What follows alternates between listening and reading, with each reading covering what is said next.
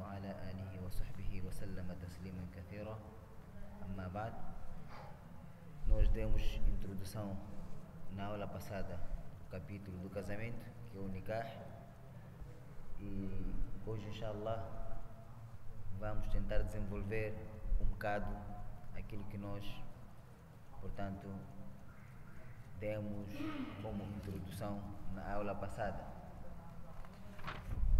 Nós, na aula passada, falamos dos mas'alas relacionados com o Nikah, o ponto de vista do Sharia a respeito do Nikah, falamos do khutbah, falamos do pedido acima de um outro pedido do irmão muçulmano e falamos também um dos assuntos que aborda este capítulo é olhar para a noiva, isto é, quando alguém quer pedir a mão de uma moça, se é permitido olhar para ela ou não. E falamos também a divergência nos juristas no que diz respeito ao hukm do nikah. Se o nikah é obrigatório, o nikah é sunnah ou é algo permitido, isto é, seja a sua prática como não, a pessoa não ganha recompensa nenhuma.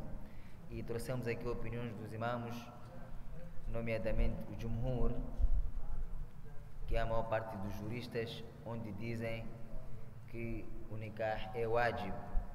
E também ouvimos a opinião de alguns que seguem o Madhab Malik, onde eles fazem a separação, dizem que nikah é obrigatório para alguns, ou melhor dizer, para algumas pessoas, o nikah torna obrigatório para elas. E para os outros é recomendável, é sunnah.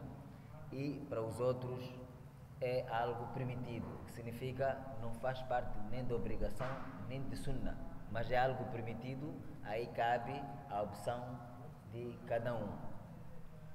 E falamos que a causa que levou os juristas a divergirem-se quanto à visão do Sharia a respeito do casamento é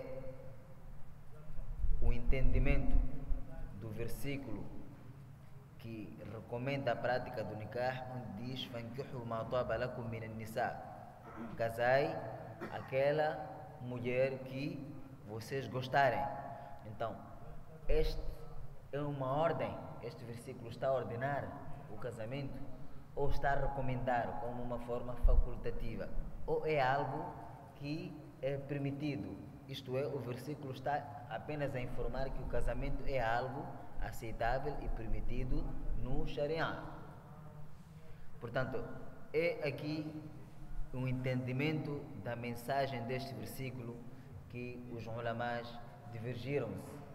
Eles todos estão de acordo que o nikah é algo permitido, mas querem perceber a mensagem deste versículo. Está a obrigar o casamento?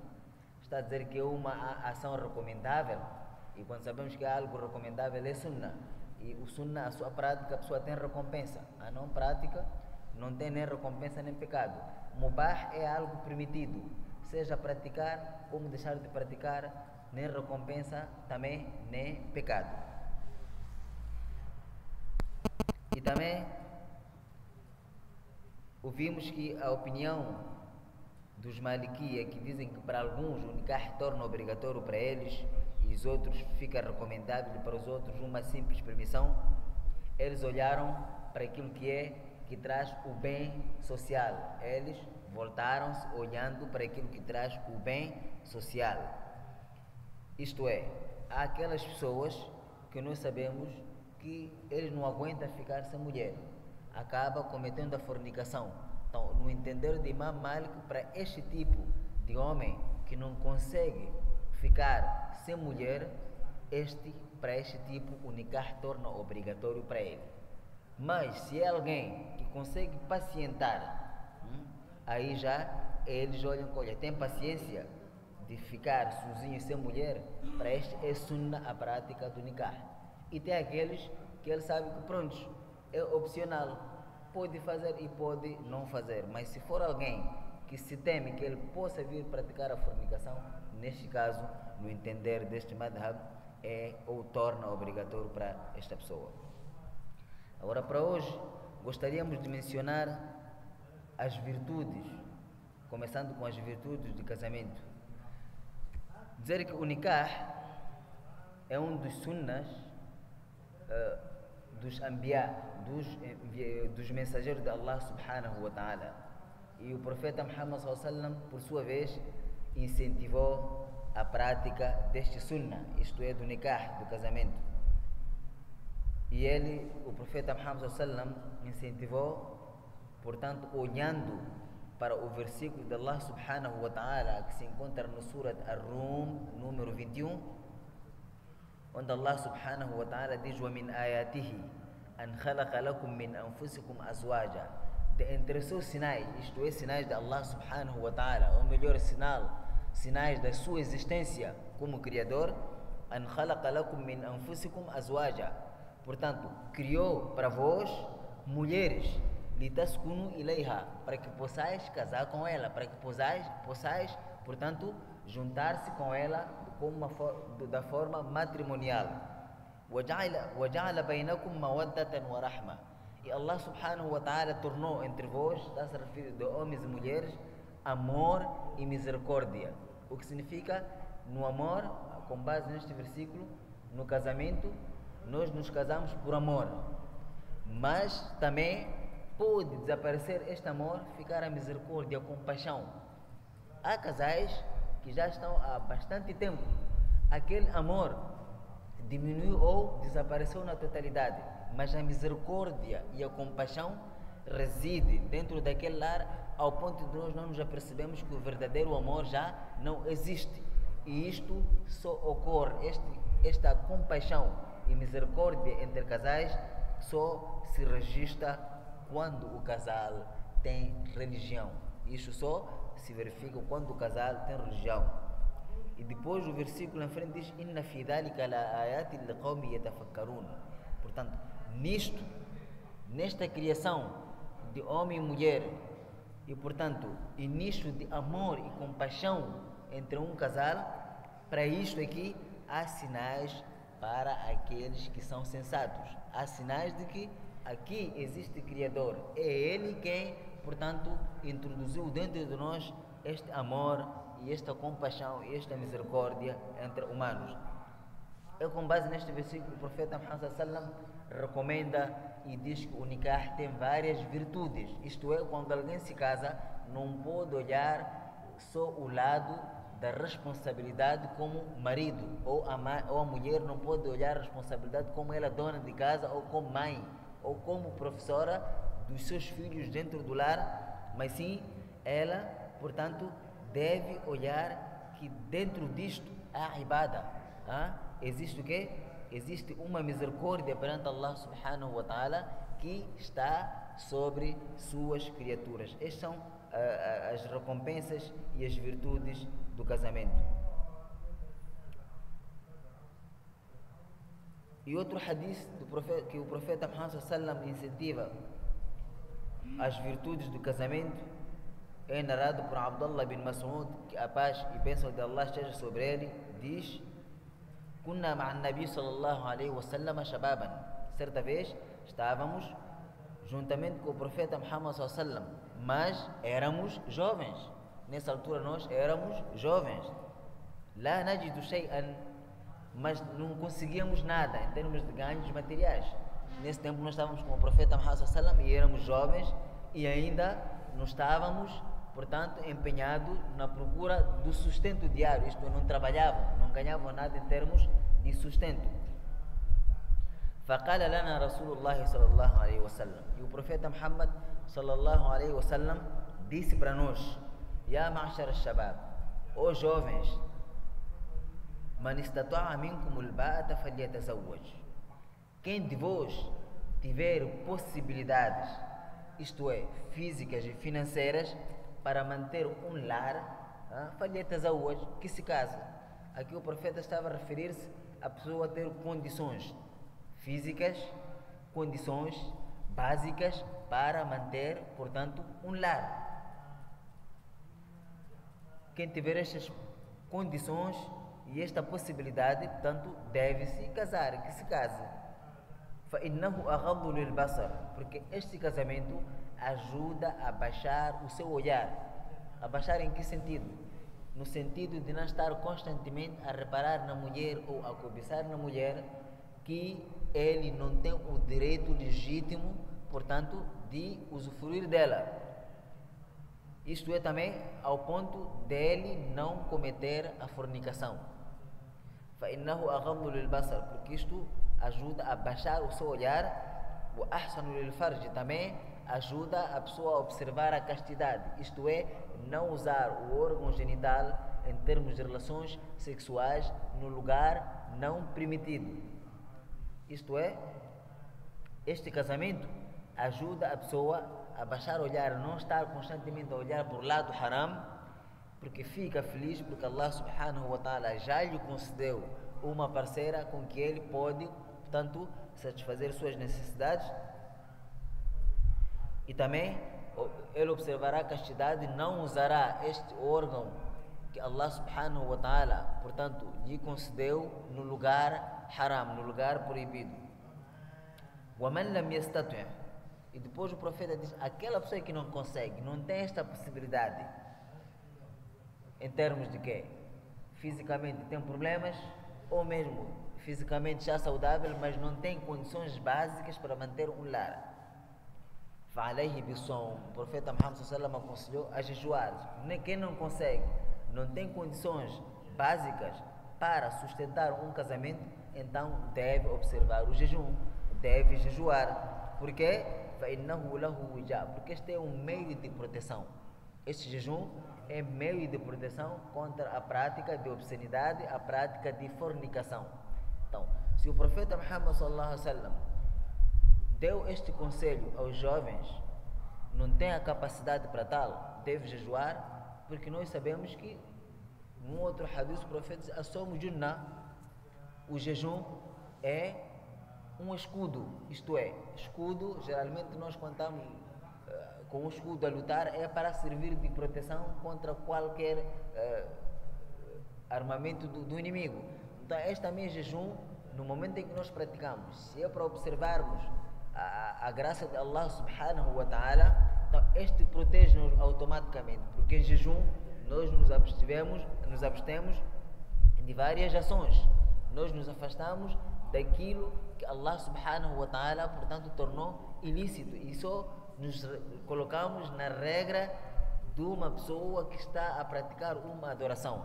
Isto é, deve estar livre e afastando-se tudo aquilo que pode vir a colocar o seu jejum em causa. E obviamente, olhar para uma mulher, cobiçar para uma mulher que não é sua, isto é ilícito. Então, este jejum não te permite isto. O jejum não te permite. Então, neste caso, o profeta Muhammad sallam deu este conselho a estes jovens que aqui o remédio para quem não tem possibilidade, portanto, de sustentar um lar ou de manter um lar, ele deve optar pelo jejum. Este hadith é super autêntico, narrado por Imam Bukhari e Imam Muslim. Então, este é, tem a ver com as virtudes do casamento. Então, com isto, jovem muçulmano não deve olhar para o nikah, para o casamento, como algo, como na linguagem atual, eh, que ele está a se enforcar. Eu já me enforquei. Ou aqui estou na cadeia. Eu já estou a colocar a minha vida já em risco. Então não tem que olhar para este lado. Tem que olhar, o muçulmano tem que olhar o casamento como, portanto, algo que tem benefícios. Apesar de você ter estes benefícios materiais, estes benefícios humanos, como as necessidades que o ser humano sente para uma mulher, Portanto, deve olhar que também há recompensa.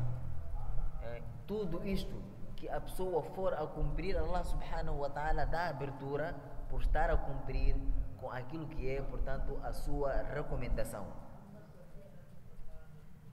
Portanto, o nikah, ou casamento, é um pacto. Hum? É um pacto, é um acordo que a pessoa faz segundo as normas de Sharia.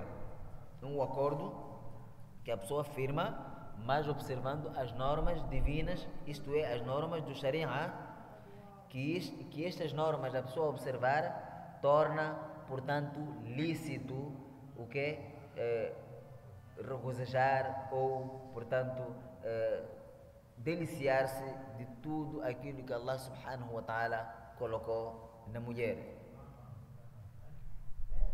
E nós sabemos que um dos propósitos que Allah subhanahu wa ta'ala, um dos hikmas que nós ganhamos ou aprendemos aqui no Nikah, porque este é, é um, no Nikah ou no casamento nós encontramos um ambiente, portanto, que nos leva a uma construção familiar, isto é, a formar uma família, toda ela, portanto, que está ligada às ordens do Criador. Quando nós casamos-nos através deste acordo que tem a ver, portanto, com as leis e normas estabelecidas no Sharia, este é um ambiente próprio para nós formarmos uma família feliz, uma família que nela se espera, portanto, filhos que obedeçam ou que vêm ter características segundo as recomendações do profeta Muhammad porque de princípio você firmou este acordo olhando que o Criador ordena desta forma. Então, também a educação deve refletir aquele mesmo princípio que teve quando pretendia, portanto, observar o casamento. Não quis juntar-se com uma mulher sem firmar este acordo com Allah subhanahu wa ta'ala, quis observar estas normas. Então também, dentro do lar, é preciso que tudo tenha reflexo de Sharia até formar, portanto, a família. E também, neste casamento, um dos hikmas é, portanto, afastar as pessoas da prática daquilo que é ilícito, daquilo que é haram. E desta forma é que se, portanto, espera existir o verdadeiro amor e misericórdia e compaixão no seio do casal.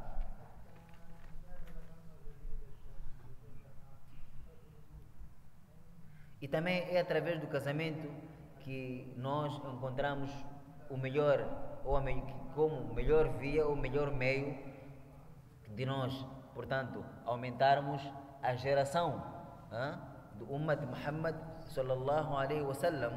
Não é por acaso que o profeta Muhammad sallam, na sua recomendação, diz: Tazawwaj al-waduda al-walud.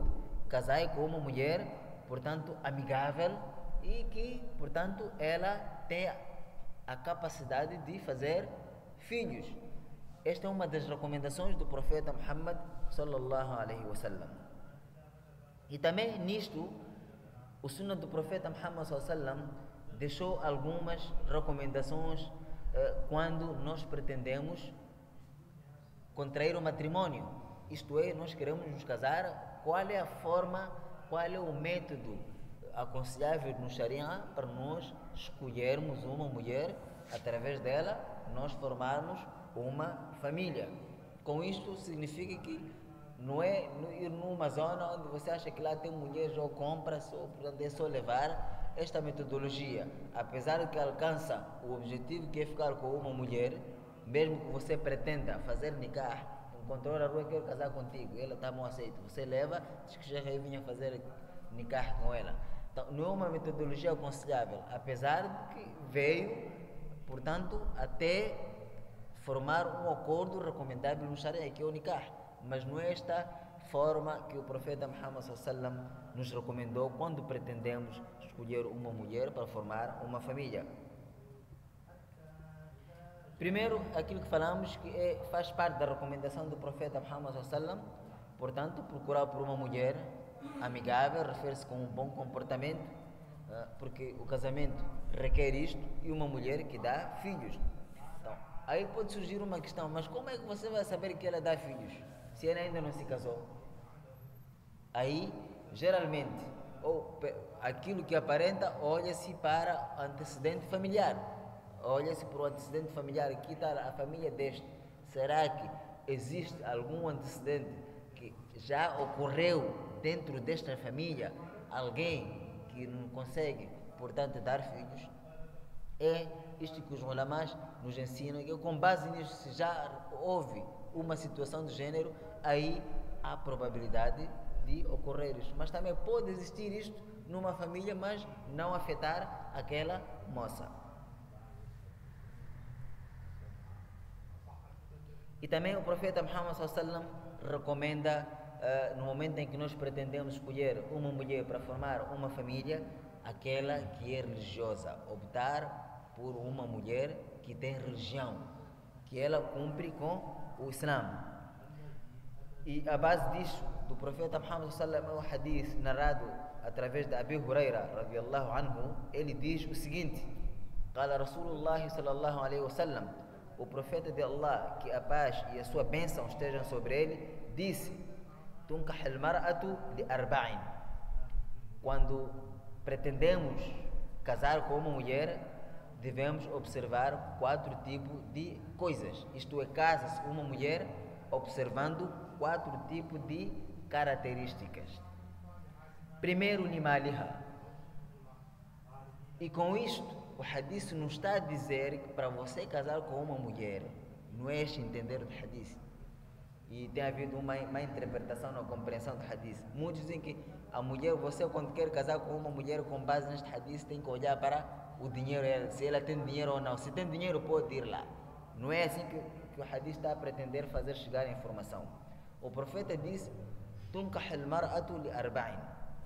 As pessoas, quando querem se casar com uma mulher, olham para, geralmente para quatro tipos de coisas. Isto é, o instinto humano, a natureza humana, quando quer mulher, sempre olha para estas quatro coisas de Maliha. A quem quer se casar com ela através dos seus bens.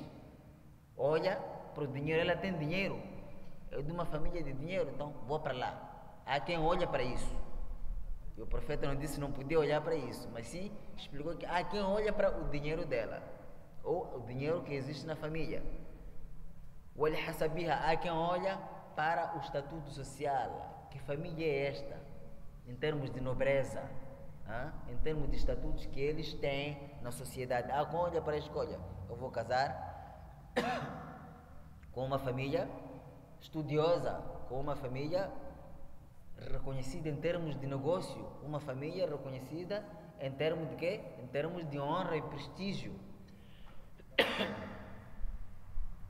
O Jamaliha, a quem, quando quer se casar, ele olha exatamente no lado da beleza da mulher, sobretudo a beleza exterior. Esta mulher, mashallah, é bonita.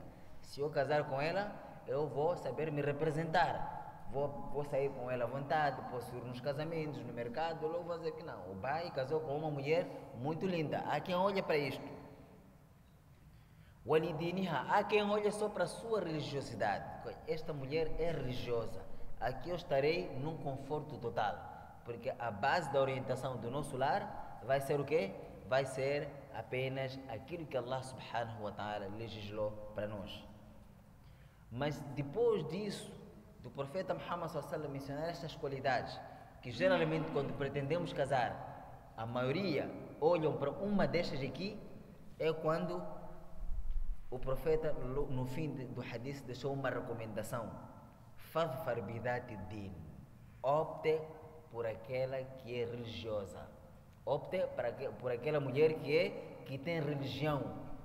Quando pretende casar com uma mulher, tudo bem, esses lados, essas características que mencionamos, está bem, não há problema nenhum em você olhar com olhar para essas características e casar-se com ela. Mas o melhor é olhar pela religiosidade que a mulher ostenta. Se ela é religiosa, então essa é que tu tens que optar. Taribat yadak. Taribat yadak, isto é, as suas mãos estarão livres ou à vontade de qualquer distúrbio. Então, em, em suma, Hadith está a dizer que, olha, opte pela religiosa que você estará num bom caminho, estará bem orientado, não terá problemas. Por isso, há uma qualidade que os árabes, não é hadith, mas os árabes recomendavam eh, quando alguém quisesse casar. Diz uma das qualidades que é detestável quando casar-se com uma mulher, uma das qualidades detestáveis quando está dentro de uma mulher, você deve evitar casar-se com ela é al-anana. Al-anana é aquela mulher que quando o marido entra dentro da casa, a casa vira tribunal. Esta é uma qualidade já que é detestável e alguns almos apoiam que uma mulher que tem esta qualidade deve evitar contrair matrimônio com ela. Al-anana. Marido entrou é tribunal, estava já ontem, por que, demorou e para quê? Porque ali só são questões e ele antes de responder uma vem outra. Quer dizer, ele já não tem campo de resposta. Estava já ontem, estava, mas por que que tinhas que estar lá? Por que que não me disse? Para quê? O que que tratou? Então, esta qualidade na mulher deve, portanto, afastar-se. Se a mulher notar que tem este tipo de qualidade, ela deve se abster, porque muitas das vezes em poucas ocasiões que nós tivemos a oportunidade de mediar um conflito, portanto, de um, de, de um casal, quando você pergunta o que, é que ela faz, ela defende-se, cada um defende-se. Por essa razão, o profeta Muhammad sallam diz: Innama ana rajulun. Saibam que eu sou um ser humano. ala ma asma Eu julgo segundo o, de, o depoimento de cada um. فمن قضيت له من حق من حق أخيه فليعلم أنه أقطع له قطعة من النار aquela pessoa que eu for a julgar ou a dar uma sentença a seu favor enquanto não é o legítimo proprietário ou não é uma pessoa que tem a razão, saiba que eu estou a dar um pedaço do fogo do inferno. Por quê? Porque em conflito, no momento de mediação, cada um depõe para favorecer a si próprio, sobretudo quando nós queremos colocar a religiosidade de lado. Então, aqui também, poucas ocasiões, mulher, o homem vem conta a versão dele, a mulher também vem conta a sua versão. Então, é sempre bom juntar os dois. Mas quando você depara-se com estas situações, há de notar que aqui, qual é o problema que eu gosto da minha, qual é o problema dela? É boca al-anani, questões. Ela faz solar, tudo, mas pronto, quando chega lá, vê casa é tribunal já. Por quê? Para quê? Aonde? Isto cria desconforto dentro de um lar. Por essa razão, há desencorajamento a respeito disso. E não só, quando a mulher, segundo este eh, ensinamento do profeta Muhammad tem religião, tem imã. E o imã, tudo quanto é conflito, quando se direciona um determinado problema para uma outra parte, sempre há um reflexo que tem a ver com o imã. Tenha medo de Allah. Isto, você não tem razão. Reconhece.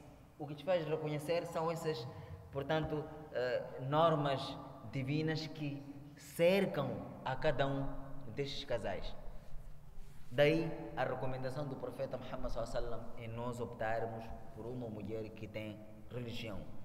E quando se diz que tem religião, não vai querer que ela tenha o domínio profundo, mas sim tem princípios de religiosidade e ela aceita aprender ou ela submete-se, por mais que não tenha domínio, é uma pessoa que se submete. Então aqui há um ambiente favorável de você levar a sua esposa, encaminhar num lugar próprio para ela aumentar o seu nível de conhecimento da sua religião Assim, facilita, portanto, quando se trata de conflitos ou alguma diferença, o que é natural, quando encontra-se a junção de dois seres humanos, que cada um vem com seu hábito, costume, então não será, portanto, todo mar de rosas, ou não será sorriso 24 sobre 24.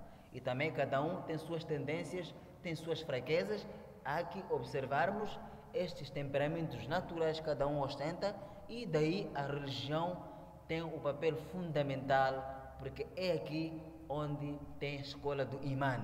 É na religião que nós aprendemos aquilo que acresce a Allah, a partir daí conseguimos regular tudo que tem a ver com o conflito dentro do nosso lar.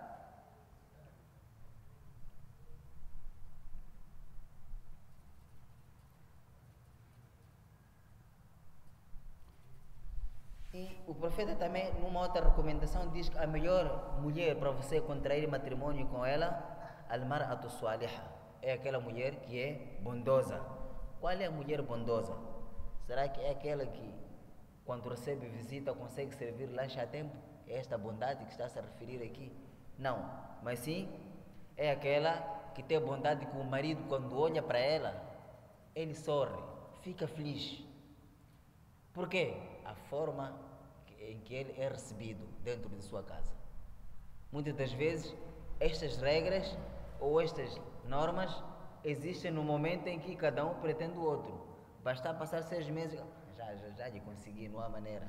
Já está dentro de mim, que não aguenta este.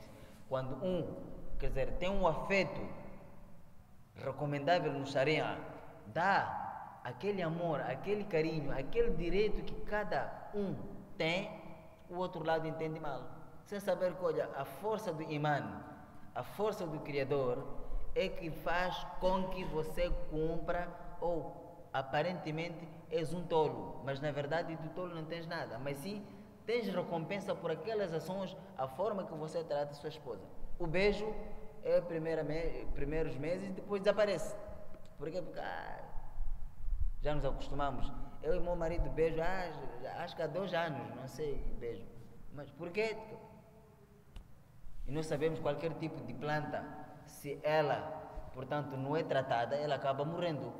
Qualquer planta, qualquer árvore, se não é tratada ao seu redor, ela acaba morrendo. Também o amor, o casal deve regar através de atos amorosos, atos de compaixão, atos que criam, portanto, mahabba entre os dois. Você oferece uma rosa à sua esposa, o que ver logo se é chefe, logo dizer, rosa. Você sim, rosa, sim, vou oferecer à minha esposa. Chefe estava a oferecer rosa. Você pergunta por que não, esse rosa é para pessoas assim. Mas rosa alguma vez foi haram? É algo precioso. Se a mulher gosta, a mulher tem suas naturezas humanas que elas, para elas, aquilo tem um grande símbolo. Para ter uma simples rosa. Para um homem, alguns olham para uma simples rosa, mas para ela tem um outro sentido, um outro significado. Este é um instinto feminino que você não vai conseguir perceber porque isto não tem dentro de si. Não vais conseguir perceber isto. Presente, ela fica muito feliz com presentes. Da mesma forma, o homem também fica feliz quando recebe presente. Há aqueles homens, quando saem em casa, têm um comportamento não aceitável. A mulher sai ali, saiu, não saiu. É, teu pai já saiu, já foi no serviço há muito tempo, não despediu a mulher. Este é um comportamento não aceitável. Também a mulher, o marido está a sair, não está a sair, cá de vir, não tem problema. Chegou, teu marido está ali. Ah, ele sabe onde fica a comida. Ele sabe que mesa fica ali, tudo está ali na mesa ali. Então são coisas que tiram este amor, que tiram esta misericórdia, que tiram esta compaixão. Pequenas coisas. E também, uma das recomendações do profeta Muhammad olhar para uma mulher que vai lhe respeitar. Olhar para uma mulher que vai respeitar um homem. Quando se diz respeitar, não é o homem fazer aquilo que contraria normas sociais, normas éticas e normas socioculturais. Respeitar segundo aquilo que Allah subhanahu wa ta'ala colocou para suas criaturas. Aquilo que o profeta Muhammad sallam ensinou que dentro de um casal o comportamento deve ser este. E ela obedece. Isto seria melhor estar ali. E aqui o que é que tem? Se aqui fica mais bonito. Cada um tem sua opinião, mas ela pode colocar lá exatamente para evitar estas diferenças. E é exatamente estas pequenas coisas que têm criado problemas dentro de um casal. Estou a pedir água, quero beber. Você não tem pernas para ir buscar ali, você manda muito, sabe? Você é muito folgado, só senta aí, tudo tem que vir para ti aí. São coisas que ocorrem. Então, não há respeito. Estou cansada, eu eu toda hora estou aqui a cozinhar, você só esticar a mão não consegue chegar. Parece pequena coisa, mas isto é grave. Porque é alguém que saiu de casa de manhã, nem tem horário de chegada, a batalhar para o bem-estar de sua família. Em compensação, é isto. Como é que ele fica? Logo, o casamento fica contaminado. E começam a surgir coisas mais complicadas do que estas que nós já prevíamos. Por isso o profeta Muhammad recomenda ser uma que obedece o seu marido. No momento em que ele manda ela alguma coisa, ela faz. Deixou alguma recomendação, quando viu o fulano faz isto, isto, isto, isto. Mas você gosta muito de dar dinheiro, sabe? A tua vida é só distribuir dinheiro aqui. Por quê? Porque ele confiou na esposa de escolha. Quando vier aquele senhor fulano, dá-lhe 100 meticais. O senhor fulano dá-lhe 200 meticais, aquele dá 2 quilos de açúcar. Ela está a perder, porque as coisas estão a sair de casa, está a diminuir. Então vai conversar com as amigas, a vida dele é distribuir dinheiro só. Ele quando recebe não chega, não temos nada lá em casa. Ontem demos para dar 100 meticais aqui, mas tem tudo. Então ela não obedece esta recomendação do marido e ela não percebe que nisto o profeta diz: Ma min sadaqa. Os bens materiais não se diminuem por causa de caridade. Você dá para agradar Allah, Allah subhanahu wa ta'ala vai dar de uma forma que tu nem tá percebes. Porque quando diz que Allah vai dar o, o retorno disto, não porque você deu sem há de receber o mesmo sem. Mas Allah subhanahu wa ta'ala dá-lhe a abertura de ganhar o risco de várias formas. Dá-lhe a abertura de conseguir aquilo que lhe preocupa da forma que tu não te percebes. Abre tudo que é o bem para esta família. E nós não percebemos isto. Por essa razão, estas recomendações, o profeta Muhammad sallam, portanto, deu para nós observarmos quando pretendemos formar uma família. Por isso ele diz através de hadith narrado por Abdullah bin Amru, radiallahu anhu, dunya mata' wa khairu mata'i dunya al-mar'atu salihah. Diz o dunya, o mundo, todo ele está repleto de bens, de materiais. O dunya está repleto de material e materialismo. Só que o melhor materialismo aqui no dunya é você casar-se com uma mulher bondosa. E a bondade se refere a obedecer às ordens de Allah subhanahu wa ta'ala, cumprindo aquilo que são os ensinamentos do profeta Muhammad sallam, só assim é que ela terá, portanto, todo o cuidado de cumprir com aquilo que é a recomendação ou ensinamento do seu esposo. E este hadith é narrado por Imam Muslim. E também, neste mesmo casamento, o Islã, portanto, eh, recomenda, aliás, permitiu o homem casar-se com mais de duas mulheres, não excedendo quatro mulheres. Mas aqui é preciso percebermos que o Islã não obriga. A poligamia não é obrigatória na religião islâmica, mas sim ela, o Islã encontrou a poligamia. Os povos que antecederam o Islã, eles já vinham praticando a poligamia, só que de uma forma desorganizada. O homem casava-se com quantas mulheres ele quisesse. E segundo a história, até podia arrancar a mulher do outro, bastasse ele ser mais forte que o outro. O Islã olhou para aquilo e, segundo Allah subhanahu wa ta'ala, como criador desta máquina humana, conhece as tendências de cada sua criatura, colocou regras. O Islã veio colocar regras e normas que regulam, portanto, a poligamia. O que significa não é obrigatório casar-se com mais de duas mulheres. Mas sim, o Islã colocou se alguém tem uma vontade e tem a capacidade de casar mais de uma mulher, pode se casar desde que ele não exceda quatro mulheres.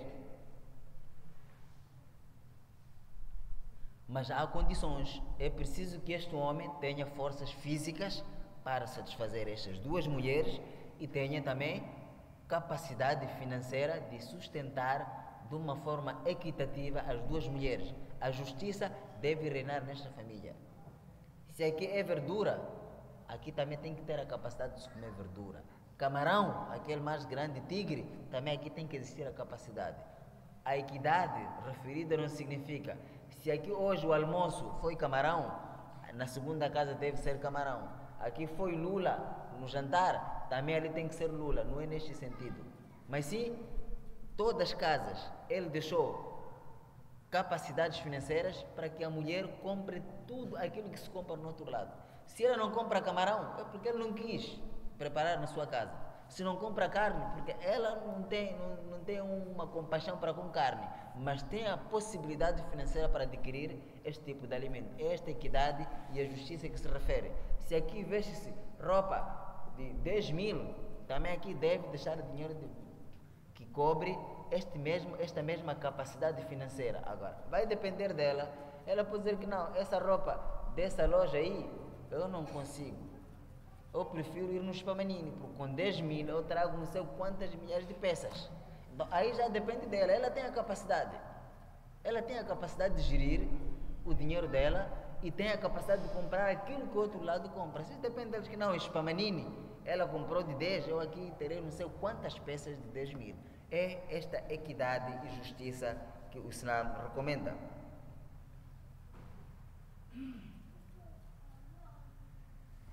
E Allah subhanahu wa ta'ala diz: ma taba lakum min nisa'i wa thulatha wa. Então, casai com aquelas mulheres que vocês gostarem, seja elas duas, três ou quatro.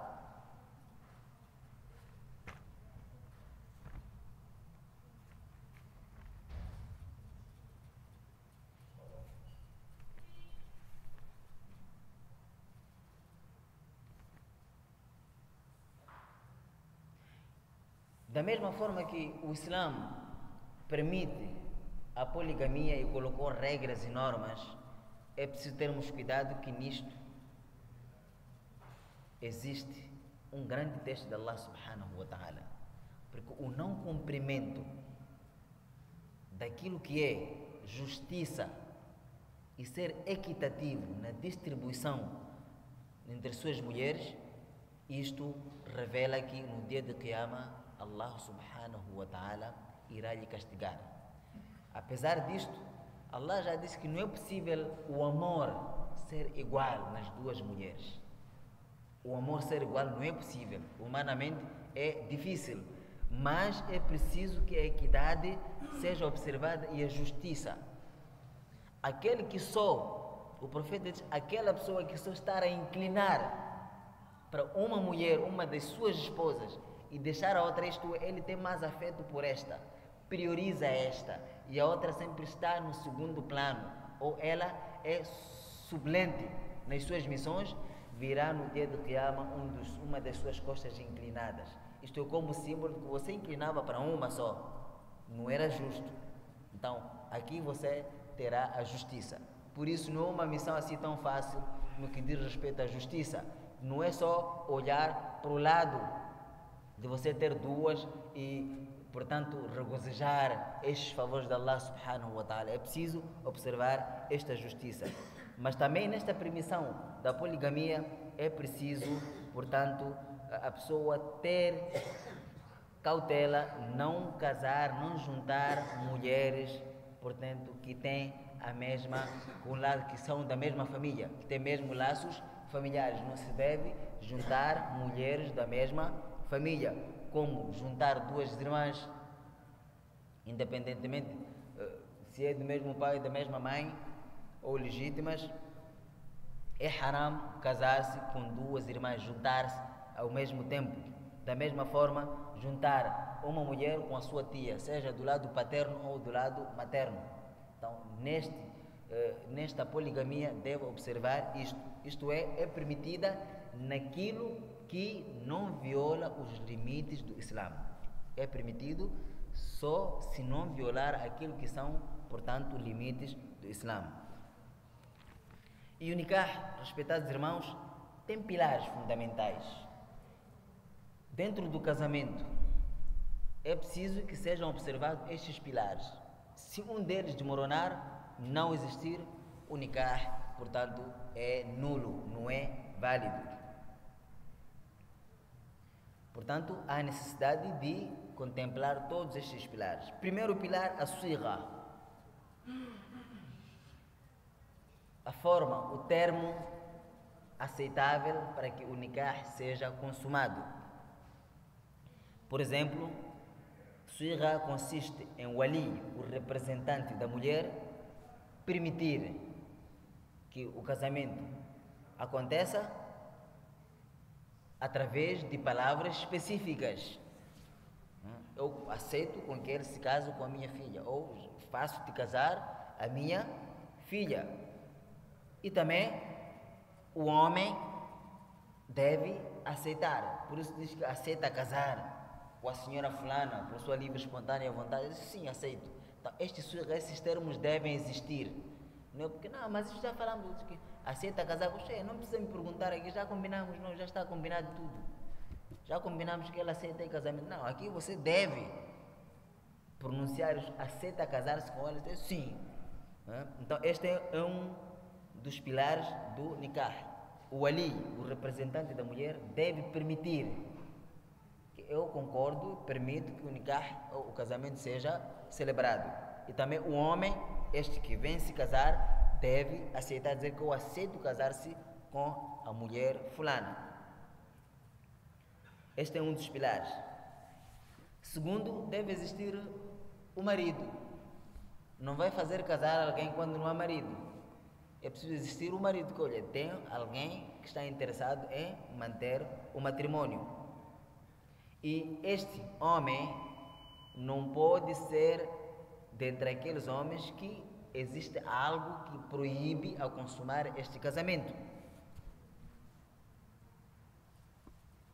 E também deve ser um homem específico, isto é, quando quer se casar, aliás, quando quer celebrar o nikah, deve existir um homem claramente que todos conhecem que este é o noivo, este é que vai se casar. Eu não posso dizer que eu faço casar, portanto, a minha filha. Hum? Eu faço casar a minha filha a alguém. Então não sabemos quem é esse alguém. Eu faço casar a minha filha a alguém, não pode. Então não é um, um termo próprio. Então é preciso estar lá o homem, saber se a pessoa que vai se casar, o nome é X. Por mais que seja um nikah que nós delegamos alguém, depois nós já chegar neste capítulo. Quer dizer, o, o noivo não está presente, mas delegou alguém como seu representante no seu lugar. Depois já vamos de ver em frente, inshallah, deste capítulo. Também, um dos pilares, existir zauja, a mulher, a noiva. Hum? Tem que existir a noiva e deve ser uma mulher já conhecida, específica. E os dois não podem estar no estado de hiram. Os dois não podem celebrar este matrimônio no momento em que eles estão a casar, não podem estar no estado de hiram, seja para Hajj ou para Umrah, seja para o homem, seja para a mulher. Se ele está no estado de hiram, aí não tem requisito para efetuar ou celebrar o nikah. Isto é, homem assim como mulher não tem que estar no estado de ihram. E temos o ali.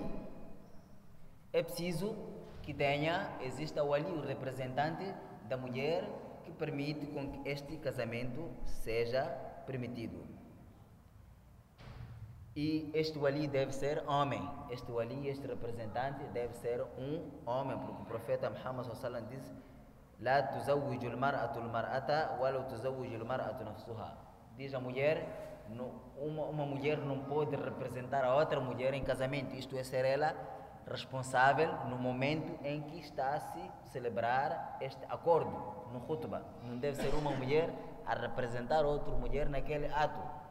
Portanto, deve estar sempre um homem. Se o parente direto desta mulher nesta cidade ou neste momento é uma mulher, ela deve delegar alguém em sua representação.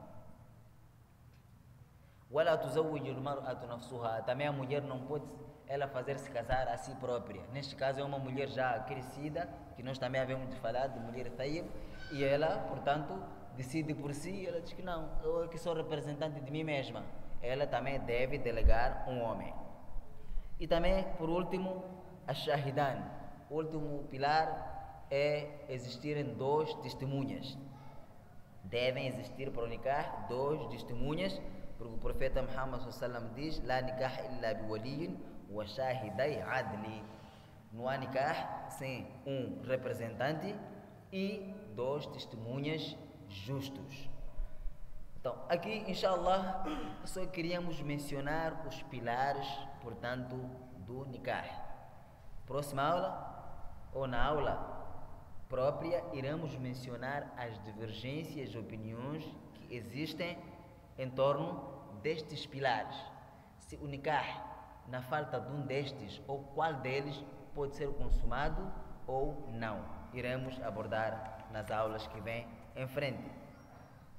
E o nikah também, portanto, tem os seus sunnats.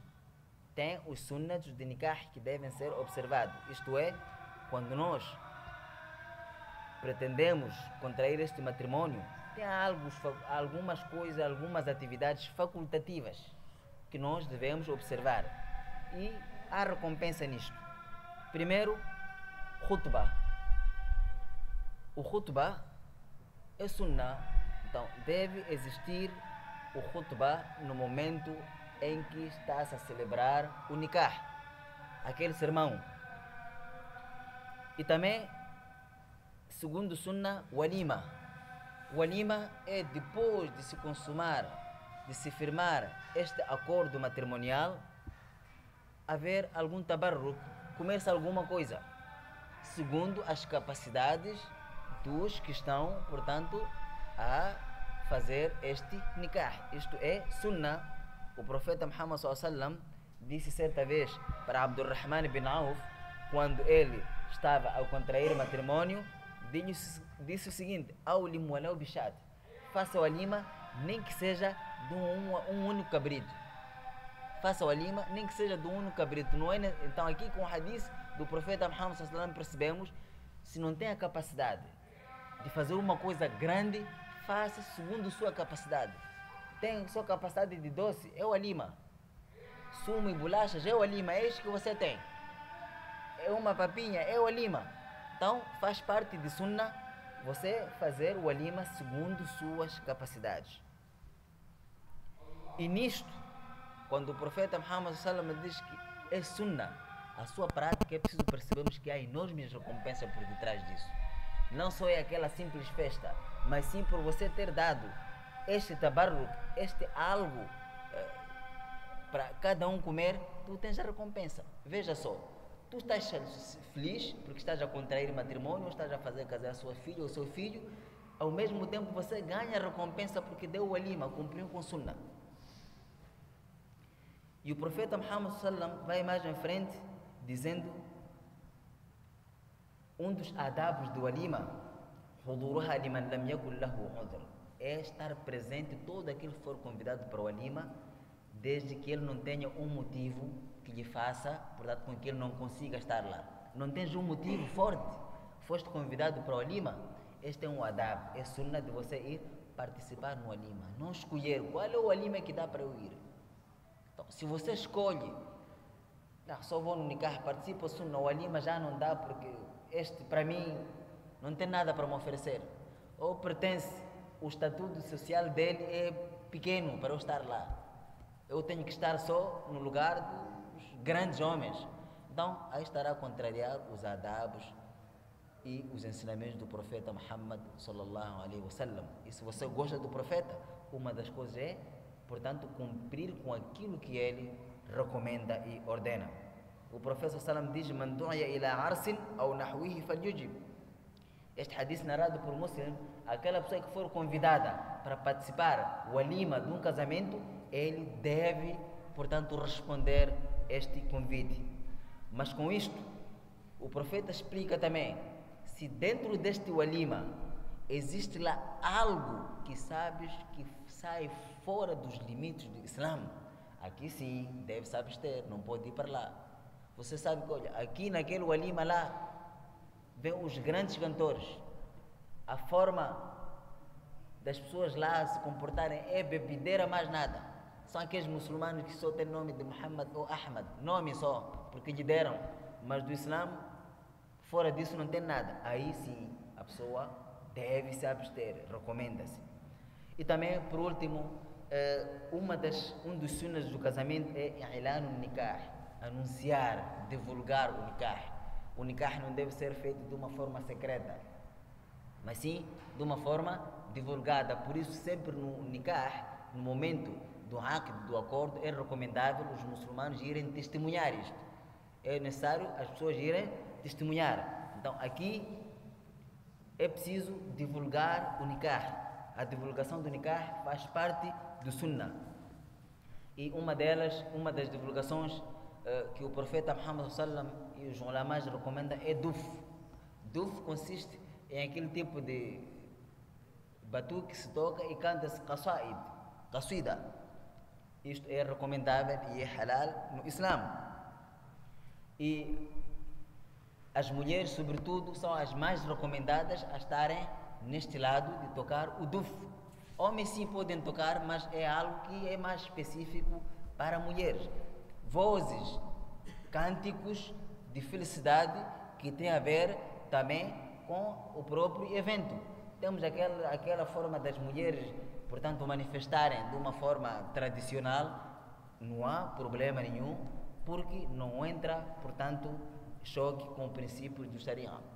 Mas sim, podemos uh, festejar desta forma, mas não esquecendo daquilo que é a nossa obrigação. Chegou a hora de salat, que não, deixa lá ouvir aquele cacique, é muito bom. Não. Aí interrompe, vai no salat, depois é que pode voltar. Isto é, festeja da melhor forma e que, com que esta festa seja o motivo de você ganhar mais recompensa, não de atrair a ira de Allah subhanahu wa ta'ala. E também um dos sunnats do nikah é todo participante, seja do alima ou do nikah, fazer dua para os recém-casados, Allah subhanahu wa ta'ala dar baraka, Allah subhanahu wa ta'ala, portanto, dar bênção neste casal. Portanto, para hoje tem muita coisa, eh, mas para hoje, inshallah, nós trazíamos estes adabos que são recomendáveis nós observarmos portanto, uh, no momento do nikah. Inshallah, próxima aula teremos a oportunidade de trazer mais subsídios relacionados com o nikah, porque esta é apenas uma introdução. Temos ainda muita divergência ou muitas opiniões no seio de álamos, mas tudo isto não para criar desunião, mas sim para nós percebermos da melhor forma este casamento segundo o Islã, como é que deve ser, portanto, observado. أقول قولي هذا وأستغفر الله لي ولكم ولسائر المسلمين فاستغفروه إنه هو الغفور الرحيم. Tem questões?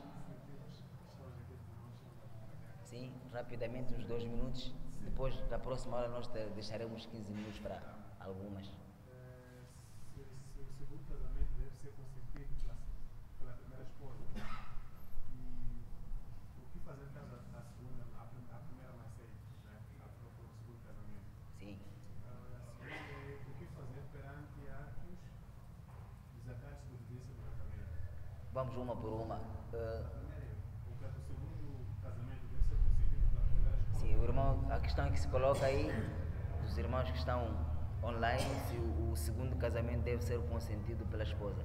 Não é condição, segundo o Sharia, a primeira esposa ela dar a permissão, porque ela não tem legitimidade com isto. E porque este é um acordo que a pessoa tem e firma perante Allah subhanahu wa ta'ala. Mas em termos de ética né, e responsabilidade do homem, é necessário que dê uma comunicação à sua primeira esposa que tem vontade de contrair o segundo matrimônio.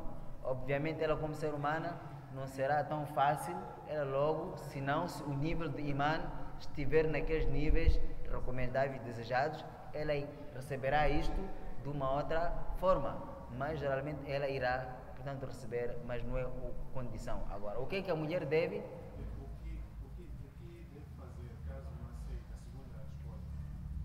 Em primeiro lugar, nós aconselhamos as segundas mulheres, eh, caso isso aconteça, que não pode olhar isto como meio, portanto, dela perder eh, o seu esposo. Deve olhar mesmo a Aisha radiallahu anha, eh, que é Umul Mu'minin, a mãe das crentes, ela também casava-se com o profeta Muhammad sallallahu o profeta tinha outras mulheres e ela aceitou isto. Então, não deve aí as emoções e suas compaixões não podem levar mais adiante, tem que olhar o lado islâmico, conversar com seu esposo de, de uma forma melhor e chegarem a uma conclusão. Mas a não aceitação dela não ilegitima o, o segundo nikah.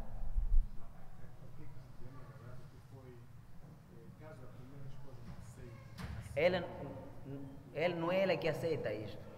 Ela não tem nenhuma participação nisso. Ele pode contrair um matrimônio mesmo sem o aval dela. Ela não entra aí. Agora, se ela quer abandonar, isso nós desencorajamos.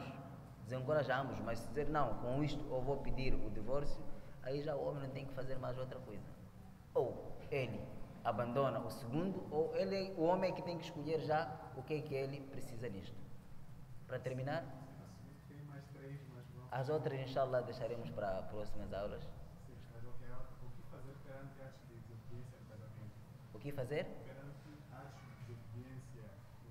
Em primeiro lugar, quando há desobediência, é preciso haver um diálogo. É preciso pedir mediação dos mais velhos ou das pessoas que nós confiamos como experientes nisto. E depois desta mediação, é preciso que nós aconselhamos os outros se aquilo que for violado contraria os princípios do DIN, o nosso suporte sempre tem que ser aquilo que o profeta Muhammad nos recomenda dentro de um lar. E se isto for mediado várias, de várias formas, de várias vezes, não ter solução, aí já o último recurso sempre é o divórcio. Se isto levar a um extremo em que não há entendimento entre estes dois casais. Wallahu ta'ala alam. وصلى الله على سيدنا محمد وعلى